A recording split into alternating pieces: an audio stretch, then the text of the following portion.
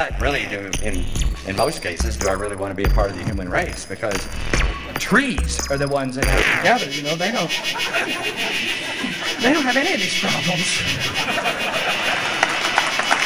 Uh,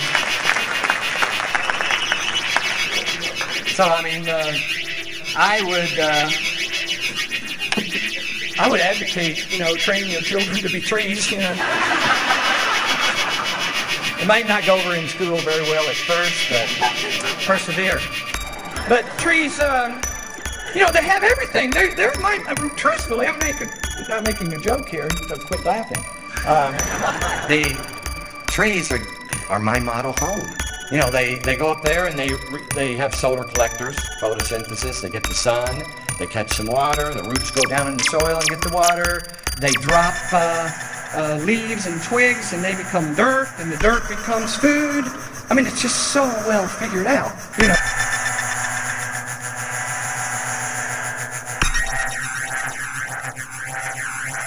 Trees. I mean, this is in my mind a lot about trees, believe me. Um, and I thought, well, what if that was a mommy and a daddy there, and that was a bunch of little uh, baby humans? All, all, these little trees were just there doing the same thing that big trees did. Well, the, if it was a bunch of baby humans, they'd all be crying and screaming and shitting in their pants and everything. It'd just be, it'd be a joke. It, the, the, humans had to be cared for. And uh, whereas the trees, you know, the seed comes up and they're, they've got it together. In other words, there's a lot to learn from trees, but also animals. You know, when I look at the planet for information, the last place I'm going to go is to you. You know, the, the trees know what they're doing, the animals know what they're doing, the insects know what they're doing.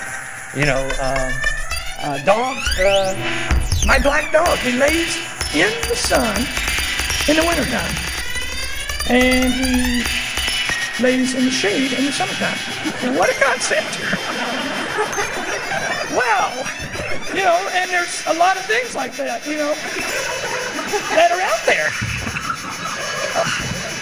All you have to do is just, you know, uh, quit doing what you're doing. But, uh, so it's, it's, it is ridiculous what's going on here. It is funny, but it's uh, sad.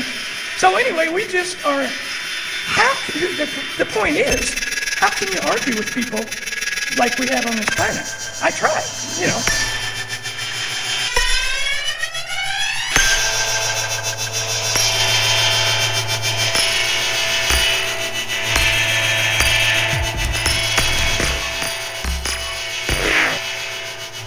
Beyond, uh, out of uh, a different realm. It's almost like I always try to come up with ways to try to tell myself what's going on so I don't get mad at people. But uh, it's like our whole world of humans is defined in black and white.